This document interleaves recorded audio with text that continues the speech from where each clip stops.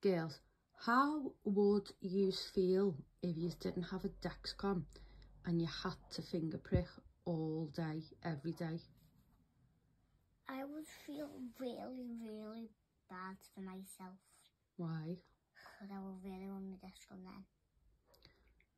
But then when you do it, and you use all your fingers and you use the different sides and you keep needing to do it, will you do it then? Because then you, if you're doing the same place, it'll really like, hit your finger a lot. Um, and what, what would you do? So you can't put it in your leg because it's only called a finger prick. And you can't do it in your knee because it's only called a finger prick. Okay, so... You so can't do it in your leg because no, cause your Evie, leg do you know the other day when your Dexcom come off and you're in school, you had to finger prick a few times, didn't you? What What was that like? Yeah. Did it hurt you?